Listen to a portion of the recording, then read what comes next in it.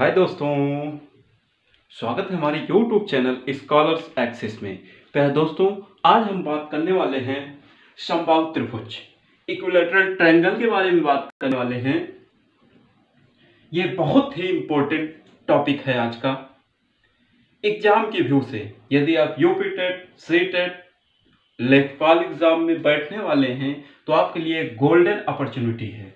Very most important topic आप आपके लिए लेके आए हैं। इससे रिलेटेड एक प्रॉब्लम ज़रूर पूछा जाता है। आज का टॉपिक बहुत ही अहम प्यारे दोस्तों। वीडियो को लास्ट तक देखिएगा और वीडियो अगर पसंद आए तो प्लीज़ चैनल को सब्सक्राइब कीजिएगा वीडियो को लाइक कीजिएगा और शेयर भी कीजिएगा। आइए हम टॉपिक की ओर चलते हैं। संभाव त्रिभुज। संभाव त्रिभुज क्या होता है? जैसा कि नाम से ही स्पष्ट है, संभाव। संभाव सम मतलब बराबर। अगर हमारे पास कोई त्रिभुज ऐसा है हमारे पास कोई त्रिभुज ऐसा है जिसकी सभी भुजाएँ बराबर हैं। अगर हमारे पास कोई त्रिभुज ऐसा है जिसकी सभी भुजाएँ बराबर हैं तो वो संभाव त्रिभुज कहलाता है। एबीसी अगर कोई त्रिभुज है जिसकी भुजाएँ ए बी बी सी और सी ए तीनों इक्वल हैं। Means A B equal B C equal C A अगर तीनों भुजाएँ बराबर हैं तो ये त्रिभुज आपका क्या कहलाता है? संभाव त्रिभुज कहलाता है। इस तरह का त्रिभुज जिसकी सभी भुजाएँ बराबर होती हैं, संभाव त्रिभुज कहलाता है। और संभाव त्रिभुज की एक खासियत और होती है, इसके सभी कोण इक्वल होते हैं।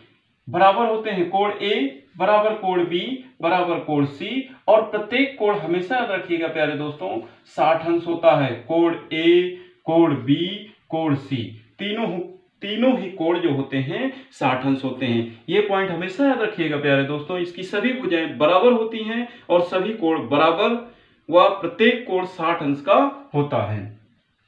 इस तरह इसको हम संभाव त्रिभुज कहते हैं। आइए संभाव त्रिभुज का हम परिमाप और क्षेत्रफल सीख लेते हैं, क्या होता है। हमेशा याद रखिएगा, प्यारे दोस्तों, इसका जो परिमाप होता है, परिमाप इसका जो परिमाप या पेरीमीटर जो होता है, तीन गुड़े भुजा, क्योंकि तीनों भुजाएँ बराबर होती हैं, इसलिए तीन गुड़े भुजा कह सकते हैं।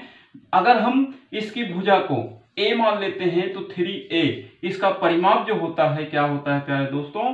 थ्री ए इसकी सभी भुजाएँ बराबर हैं, इसको हम ए मान लेते हैं तो इसका परिमाप जो हो जाएगा, क्या हो जाएगा प्यारे दोस्तों? थ्री ए हो जाता है। और इसका जो क्षेत्रफल होता है इसका जो क्षेत्रफल होता है संभाव त्रिभुज का, संभाव त्रिभुज का क्षेत्रफल जो होता है root three upon four into A square root three upon four into A square होता है। भुजा की घात तो या ए स्क्वायर होता है root three upon four into A square होता है। इस तरह ये परिमाप और क्षेत्रफल हो गया। जब भी संभाव त्रिभुज आपके सामने दिया गया हो, उसका परिमाप पूछा जाएगा तो थ्री इंटू ए लगाएँगे फार्मूला और अगर क्षेत्रफल निकालने के लिए पूछेगा तो root three upon four into A square formula लगाते हैं। आइए, इसी में हम संभाव त्रिभुज की ऊंचाई निकाल लेते हैं। संभाव त्रिभुज की ऊंचाई क्या होती है? अगर हमारे पास एक संभाव त्रिभुज है, उसके एक शीर्ष से, उसकी सम्मुख भुजा पर लंब डाल देते हैं तो वह उसकी ऊंचाई कहलाने लगती है। मीन्स एडी एडी एच मान लेते हैं एच है एडी तो एडी बराबर, याद रखना फार्मूला दोस्तों एडी जो कि संभाव त्रिभुज की ऊंचाई है, इसका जो फार्मूला होता है, याद रखिएगा फार्मूला इसका, अक्सर इससे रिलेटेड क्वेश्चन पूछे जाते हैं, आप इस फार्मूले को लगा के डायरेक्ट आप ऊंचाई संभाव त्रिभुज की ऊंचाई निकाल सकते हैं। Root three upon two into A होता है।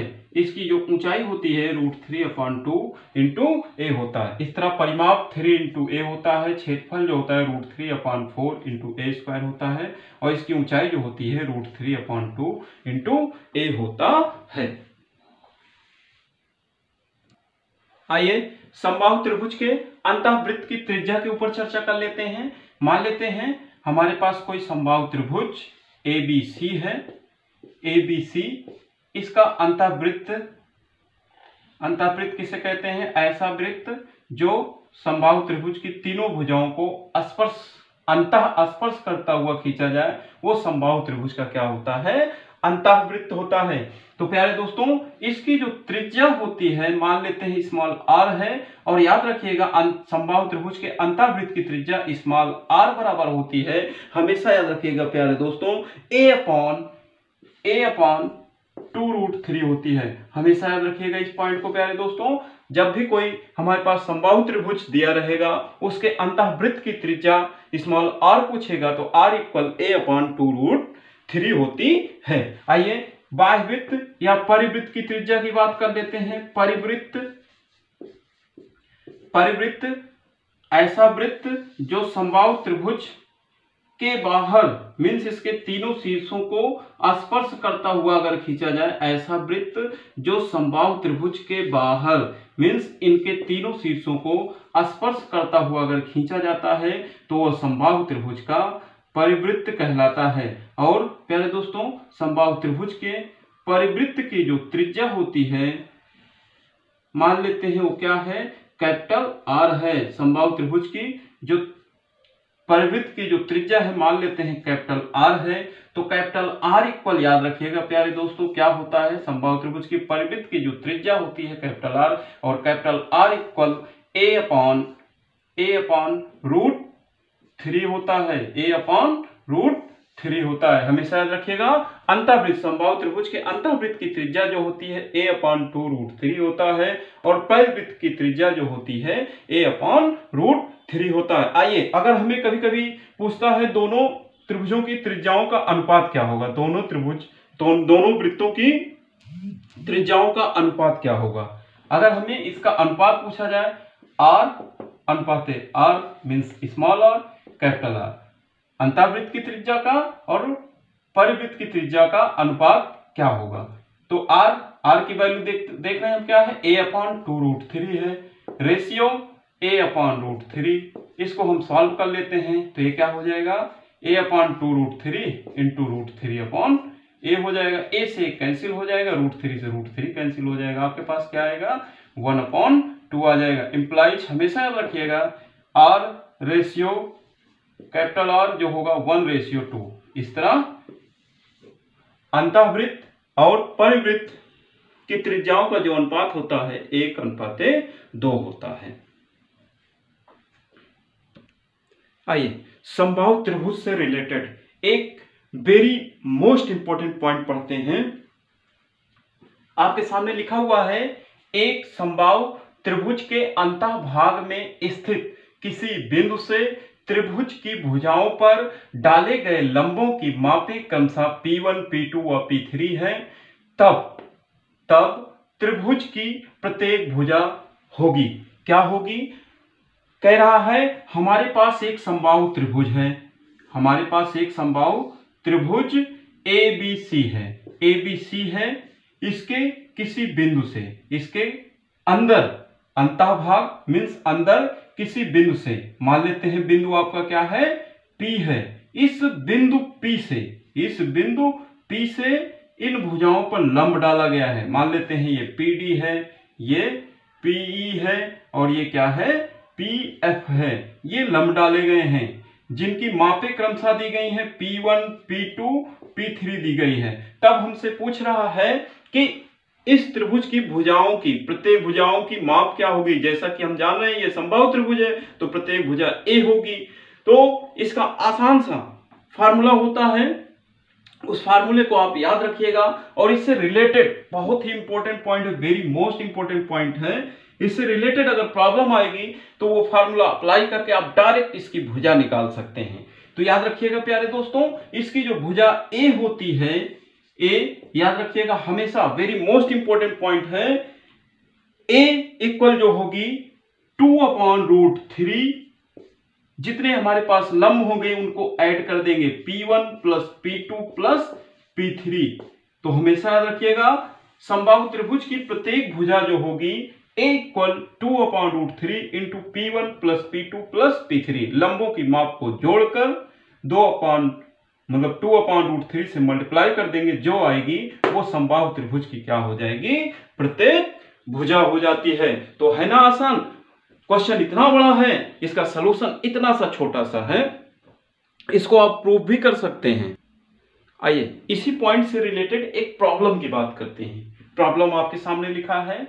एक संभाव त्रिभुज के अंताभाग में स्थित किसी बिंदु से त्रिभुज की भुजाओं पर डाले गए लंबों की मापें क्रमशः। Two root three root three व फाइव रूट थ्री है, तब त्रिभुज का परिमाप क्या होगा? हमें परिमाप निकालना है।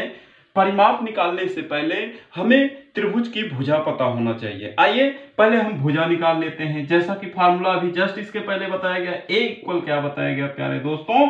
ए इक्वल आपको बताया गया two upon root three two upon root three P one plus P two plus P जैसा कि अभी थोड़ी देर पहले इसका फार्मूला बताया गया। अगर कोई संभाव त्रिभुज इसके अंदर किसी बिंदु से तीनों भुजाओं पर लंब डाला जाएगा तो उस प्रत्येक भुजा, संभाव त्रिभुज की जो भुजा होगी root two upon root three into P one plus P two into P one plus P two plus P three होती है। तो इसकी हम भुजा निकाल लेते हैं। ए इक्वल हो जाएगा two upon root three P one P two P three की वैल्यू हमारे पास पता है।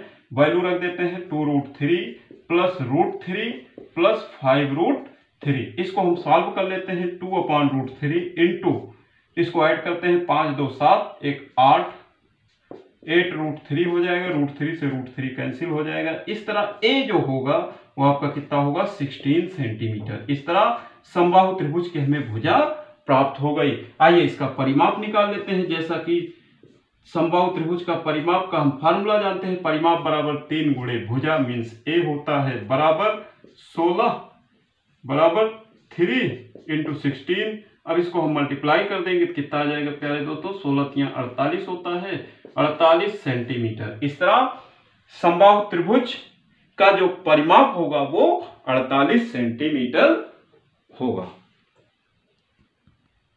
आइए नेक्स्ट क्वेश्चन की बात करते हैं। क्वेश्चन है, एक संभाव त्रिभुज का क्षेत्रफल। एक संबाहु त्रिभुज का क्षेत्रफल 36 रूट थ्री सेंटीमीटर स्क्वायर है।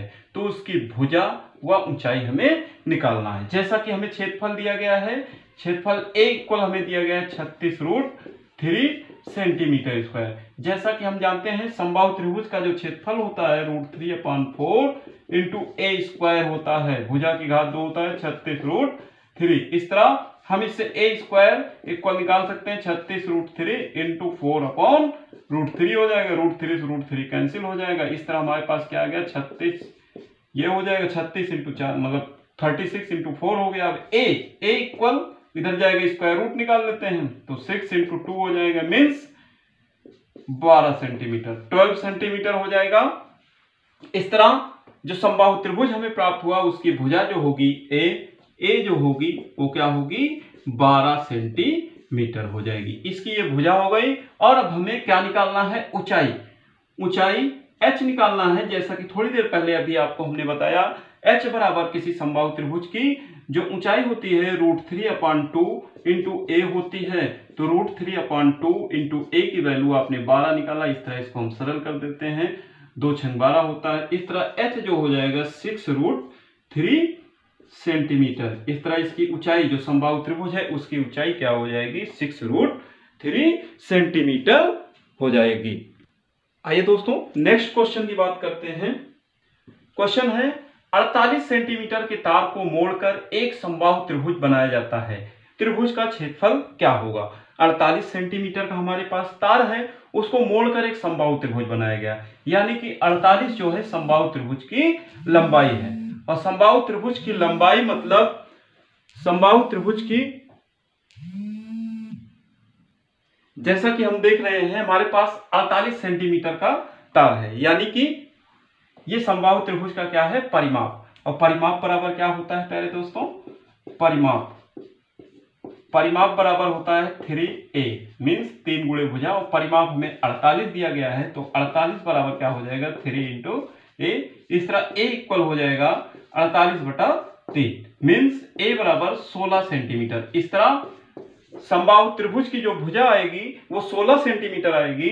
अब हम इसका क्षेत्रफल निकाल लेते हैं। A root three upon four into भुजा की घात दो होती है। Root three upon four into sixteen इसको हम काट देंगे। चार चौक सोलह sorry root three upon four into sixteen into sixteen four से इसे कट कर देंगे। चार चौक सोलह सोलह चौको चौसठ। चौसठ रूट थ्री सेंटीमीटर स्क्वायर इस तरह इसका जो क्षेत्रफल होगा, चौसठ रूट थ्री सेंटीमीटर स्क्वायर होगा। तो ये था प्यारे दोस्तों, आज का टॉपिक जल्द ही संभाव त्रिभुज से रिलेटेड अच्छे अच्छे सिलेक्टेड क्वेश्चन आपके सामने लेके आएँगे। चैनल को आप देखते रहिए। और अगर वीडियो पसंद आए हो तो please like share and subscribe my YouTube channel मिलते हैं नेक्स्ट वीडियो में। बाय बाय दोस्तों।